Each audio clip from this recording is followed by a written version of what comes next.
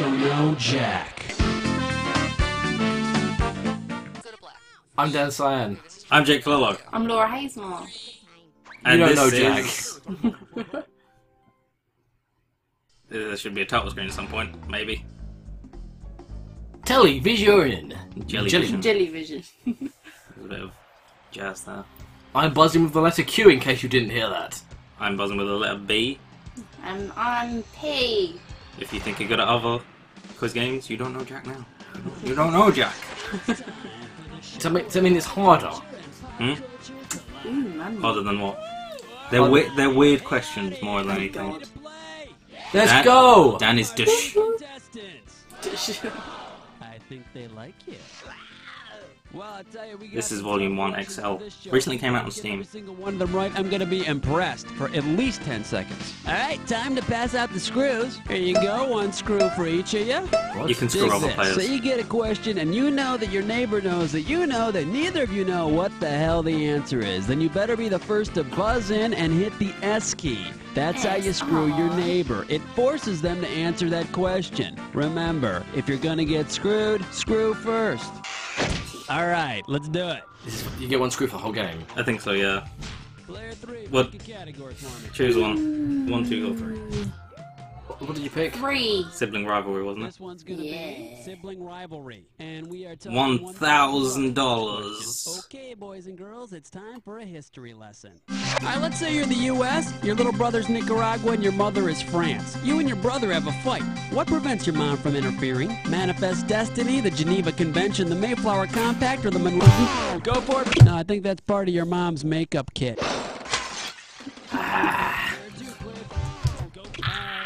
Oh. Your dad was Swiss or something? I, I pr- I. I buzzed. Uh, okay. So I was going for.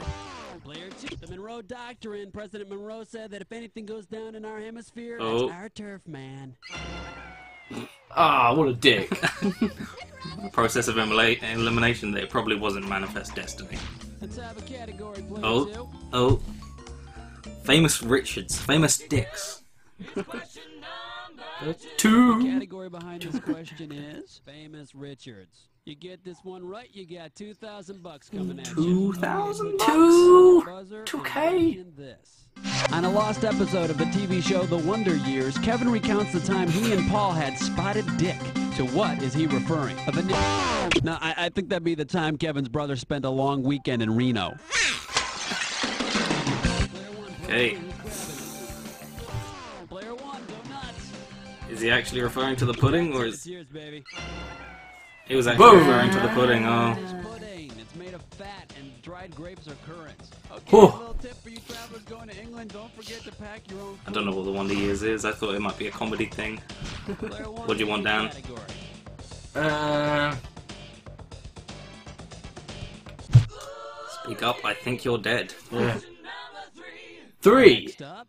Next up, speak up. I think you're dead. And this $3,000. $3,000. Three Henry K. Thoreau, prolific author and creator of the wilderness classic Walden, was unfortunately not so prolific on his deathbed. What were Thoreau's last words? Trees everywhere, moose, Indian, by now, or mom. Go for it. Oh, but wouldn't that have been great? it would have been. That would have been great. Player two, player three. Player three, take it. Bye now. Bye now. Player Is that also wrong? It was Moose Yes. Indian. So I'm now winning. Correct answer is What the moose, fuck? Indian. God, don't you wonder what the hell he was thinking? Apparently about mooses. And meats. Indians. ooh, let's Come go on. with number two. Snobby versions and jokes about flashing. Chestnut Slick Crime Store. It's time for a winner gets no scope. What? What is wrong with this? Category for this gibberish, Gibberish question. Snobby virgins and jokes about flashing. Opening value on this gibberish question: five thousand bucks. What? About 30 seconds to solve this puzzle, but I'm going to be taking a little bit of money away every second and a half. Oh my God. Okay, you ready? What tired old joke does this rhyme with? Overstep the pure Miss Pris Hoeing. I don't know you're exposing something. Would you like a little stripper music? Go for it, player one. Type in your... Goes for the gold and ends up with the goose egg. Left try. Anybody else want to try? But don't be ashamed. What? I don't even know. I'm not even sure what the person is asking. Last hint, just skin and bear it. Are those supposed to be hints?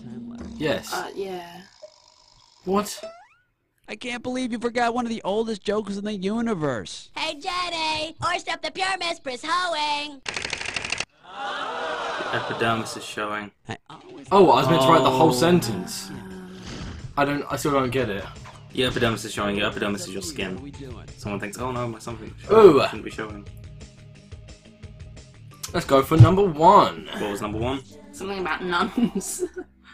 Ah, All right, Question let's what we're five. doing here. And you thought nuns were tough. The amount on the table is three grand. Three grand. those first century Three. saints were something else.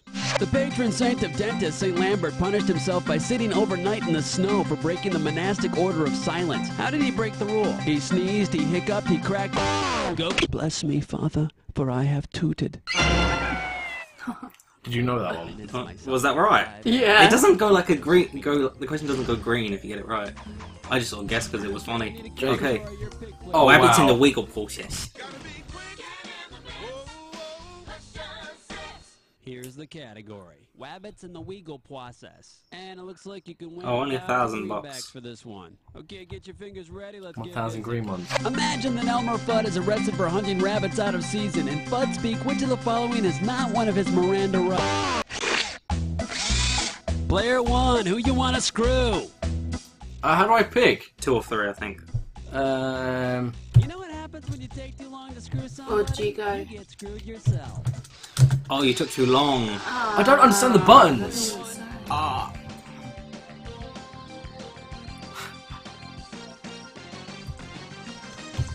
He has to answer it. Oh, you have to answer it. Oh. Player two, player three, you wanna take a stab at it? Go for it. Play- Remaining silent is what you should have done. Oh. This game is just defunct. This is. Wow, This makes no sense. that was a bad guess. Okay. Because I didn't. I'm so Oh, fucking confused. I know, it's gonna be The three. right to a phone call. Yeah. It's not one of his Miranda rights, but he does have the right to have Bugs Bunny drop a heavy object on his skull. Oh, not one of his right. I. This game is. I don't know what's going on. This hard. is, it's your chance to choose. My turn. Uh, Taxi Cabs and Satan sla- slam me. Some Dan wants someone to slam him. Seven. The name in this category is Slam Me, and this one's gonna be Two worth towel. two thousand Two thousand green ones. Okay, coming at you. Heads up. You meet someone who tells you she knows Ameslan. What do you know about her? She can speak Whoa. to deaf people. She can't speak English very well. She was involved in a financial scandal, or she knows someone named Amslan. Go for it, please. No, that would be Abs. Ah. Damn. For it. Um. I'm gonna guess. Speak to deaf people. Yes, I'm currently at zero. Amslan is American Sign Language. Nice job. Oh. Give yourself a hand. Oh, I get it now. Amsterdam. American Sign. What do you say, player two? How about? Oh, um. Who? I'm gonna go for number one. Number one, the Green Mountains of Ice Cream. Green Mountains of Ice Cream. Where would you find Green Mountains of Ice Cream other than the home of Ben and Jerry's in Burlington, Vermont? And the Green Mountains of Vermont, they're located in area code 802. Good to know. Hang tight, kiddies! We're going on a fiber optic field trip! what is this? Okay, we're just uh, flipping through the uh, Burlington, uh, Vermont uh, phone book here and pick out a name at random. And how about Mr. Pablo Guzman? I don't know what's happening. Okay, we are calling Pablo Guzman in Burlington, Vermont, and uh, area code 802. Let's see if he's home. Oh, is he home? Trying to reach Pablo Guzman for our fiber optic field trip here. Hello? Hello, is this Pablo Guzman? Uh, y- yes, it is. Pablo, hey, my name is Nate, and I'm the host of a CD-ROM game show called You Don't Know Jack in Chicago. And we pulled your name at random out of the Burlington White Pages. so I know this is kind of a strange call. I'm not selling anything. The reason I'm calling is because I'm looking for a really We should make great trivia question that we can use on our program, and I was hoping you can help us out. Won't take a lot of time. There's no strings attached. We're, we're a nationally distributed program. I guess I, I don't have too much time here. But, it won't uh, take a lot of time, and actually, most people who do this, Pablo, say it's a lot of fun. So you want to do it? Um, yeah. Great. Uh, I guess if I could do it uh, if I could do it right now or something. No, uh, absolutely. That's what we're doing it right now. But let me just really ask you quickly. What what is it that you do out in Burlington, Pablo? Well, uh, I'm an ethnobotanist um, at a uh, major institution in the area, Uh-huh. and um, I do research. That's cool. What what are you working on right now? got a job. I uh, I've got some, you know, government contracts doing research, and, but I'm really not at liberty to say. Uh, Uh, That's fine. Um, yeah, wouldn't want to reveal government secrets here. Pablo, I'm going to uh, transfer you over to our producer, and he'll explain to you how this whole thing works and help you come up with a question. But it's up to you. The question's up to you, so be creative.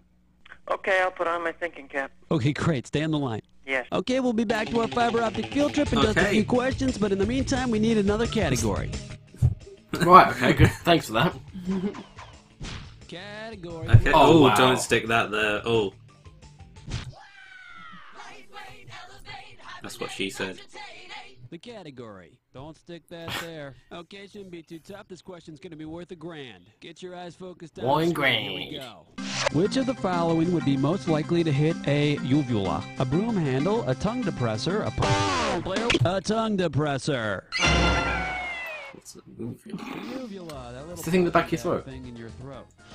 Yeah. Do you know that? No. Player one, Ah. give me a category. Uh, Four Winged Beasts, a Full House, Cocaine Astrology. Did you Did you wash your hands, Jake? Did you wash your hands?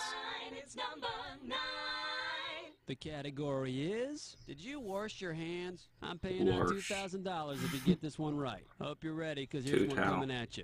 Oh, Which of the following words is pronounced correctly? Now listen carefully. Nuclear, memento, foliage, or larynx. One more time. Nuclear, memento, foliage, or larynx. Player, it's not foliage, it's foliage. Thought you'd do especially well on this one. I guess. Oh. I know it's not number one. I'll give you that much. Memento. I was thinking it was four. I'll be honest. Thing in cocktail olives. You get to choose. Let's go for number two. That's pretty big, Mac. Talking about his pain. His pain, pain. And this one's gonna be worth one thousand dollars. One towel, one towel. Cause here it comes. To all beef patties, lettuce, cheese, pickles, onions on a sesame seed bun. What's missing? Go for it, player one. Special sauce. I don't know if that's good or bad that I got that right. Some clown feeding me something called. I knew it, but then I was, sauce. I was a bit slow. Okay, we're at the end of round one now. On to round Do you know you can ask for special sauce on anything? Really? Got some Yeah. screws here. Let's see. We that's a Phillips head. Okay, okay. We got one for everybody. Here we go. Oh, we're getting more screws now. Not that we know how to use them. Press. S. Uh, yeah, you- but you then how them. do we choose? Rather than press S. And then what do you do? Yeah, that's Um, you press one, two, or three, I guess. No, because no, I tried that. tried that. line from Burlington. Oh, here we go. Here we go. Here we go. Yes, I am. All right, hold tight. Here we go. Come on, Guzman, give it to us. It was mom. Come on, hit us with it. All right, Pablo. What's the category? Uh, my category is uh, voodoos and don'ts. Cool Voodoo's category. and- All right, this will be worth five thousand bucks. All right, Pablo. It's all yours. Okay, put your fingers on your buzzers. They're on It's already My there. question is, what role does zombieism serve in Haitian voodoo religion? Go for Pablo. What would you say to capital punishment? Congratulations, you've picked the correct answer. Yes. How did you know that? I just knew it. Voodoo priests I- turn I know a lot about zombies.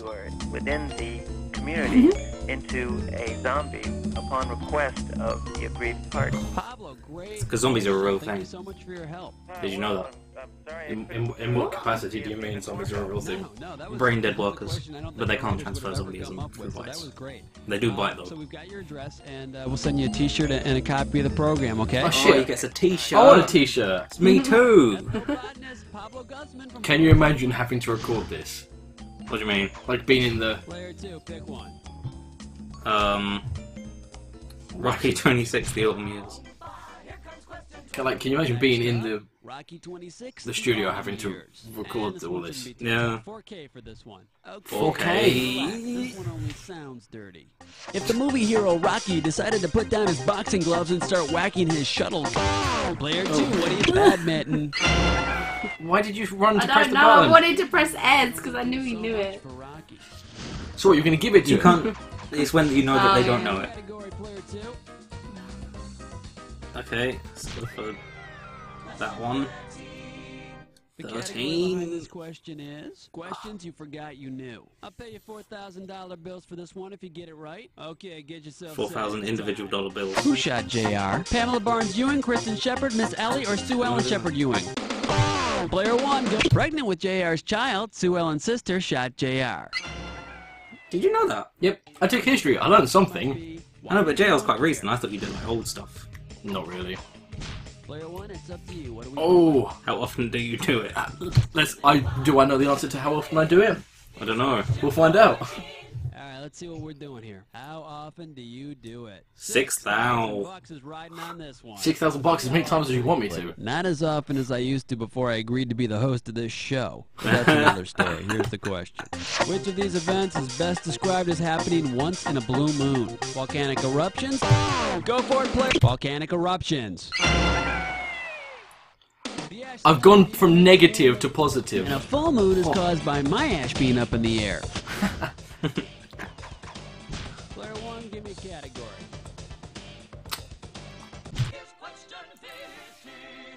go for strippers. Strippers. strippers. Strippers. Talking 4,000 big ones. Four thousand Imagine pounds. yourself traveling down a road that never ends. You pass your point of origin again and again. Where are you most likely traveling? Go for it. The Mobius strip. It's a one-sided continuous surface that never ends. And you knew that how? It's maths. Okay. What do That's just two two? Yankee zero. Give the Power Rangers a ring. Oh come on- on. Power Rangers. Ah. Nah. The category. what was that? It's gonna be worth racially diverse, this show.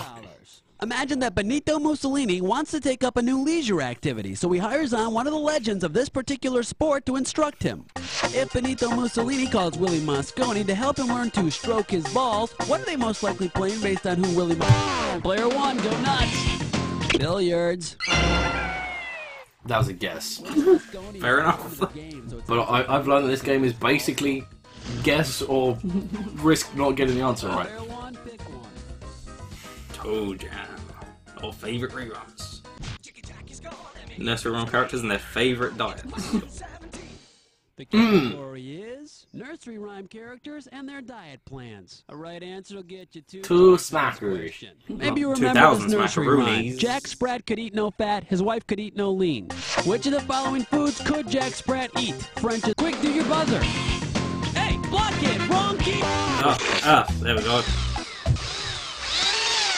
Ah, yeah, you do press a number, you just didn't do it fast enough. What are you gonna do about that? Oh, I'll go answer now. Um, Big Mac? Not much of a nutritionist, are you? No, I didn't hear what they could and couldn't eat. Two, player three. Go Screw Let's him. try. Have that. Three grams of fat. Oh. Player It, it, it's yours. so, him using this screw. That's 16 grams of fat per serving. Jack. Good. No seizure. No. Oh, I lost two How towel. this one? Oh, the one that's left. Okay, I would have never guessed. The mustard might not cut it. Ah, cut the mustard. Category for me. Ooh. Go on. Three. a great place to pitch a tent. Here's In your category. A great place to pitch a tent. This question's gonna be worth two thousand one dollar bills. Flight attendants, prepare for takeoff. Alright, imagine this. You're hiking through the woods and come across a dying man, but before he slips away, he gasps the word. What's he most likely trying to tell you? The species of venomous snake that bit him, the type of toxic plant he chewed, the mythical forest troll that ambushed him, or that someone poisoned his trail mix. Alright. Player Oh yes, the formidable Gorp snake. I don't know why. Player one, chew on this. Oh, Wide open player three. It's the trail mix. yeah. I didn't know. Gorp Nope. stands for good old raisins and peanuts. Oh, Oh. It's not. know. Player three, select Laura. category. Mmm. Dynamite. Dynamite! 19. Dynamite. We're getting close to the end. We went for a 21 question game. We did. And this one is not going to be Pull down to these last three. Few questions. Okay, hang tight. Two Put questions. your fingers on your buzzers. Here's the Ooh. question. All in the family is to good times as cousin is to cousin, grandparent is to grandchild, uncle is to niece, or parent is to child. What? All in the Family to Good Times, their TV shows, I think. I have no idea. I'm just gonna guess. Spending money. No. Player one, player two, who wants it? Go for it, Jake. I think you should go for Just it. try. Go for it. That's a no then. Player two, you want to take a crack at it? Go for it, Jake. You, it's got 50 50 now. two, what do you- Now, see, then we'd be talking about All in the Family and the Jeffersons. I was gonna go for two or the one I actually went for. Superstars, aren't you? But then you didn't. No, then I didn't. That's right. Good Times was a spin-off of Maude, which was a spin-off of All in the Family. Okay. Huh. Okay, we need a category from player three. three. What was three? The sky's falling around beyond light. 20. Sky is falling. The category behind this question is the sky is falling. Run for your lives. Two thousand. gonna be worth two thousand. I reckon it is about Chicken Little. Now we all know the story of Chicken Little and how yeah. he freaked out and thought the sky was falling around him. In July of 1979, citizens of the planet Earth, especially our friends in Australia, ran from large chunks of metal. I said chunks of metal. Oh. Player one, player three, who's taking? Player three. Yeah, uh, sorry, Flash Gordon. The first shuttle launch wasn't until 1981. Skylab, the first U.S. manned space laboratory. you're currently at zero, Dan. That was NASA's way of You're currently in the lead at a zero. Oh. I think this is the last question. Oh. oh! Uh, let's go for two, because I, I want number three, but I- it sounded like cloves. I don't want to be. You gotta have the green. Gotta have the green, bitch. What's happening right now? What?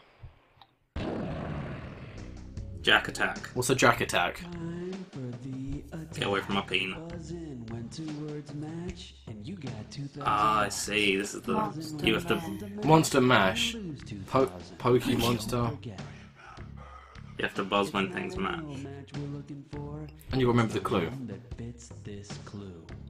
Oh. You gotta have the green. Remember that clue. By the end of this jack attack, we'll find out how much green you got.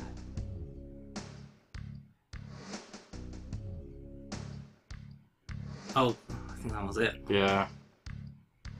Oh no. I saw green and pressed Ah! We both worked it out. Ah! Ryan Reynolds. Plant nursery.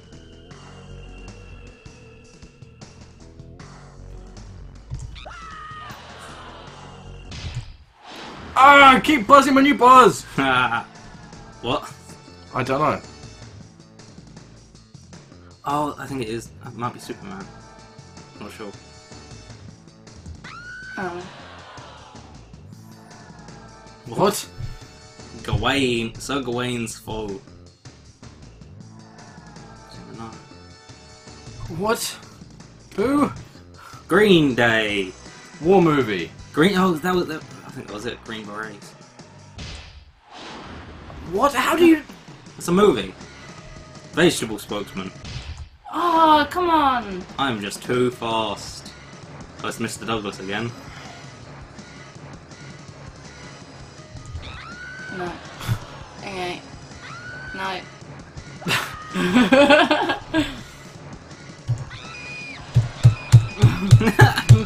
You're right there, Dan. Yeah!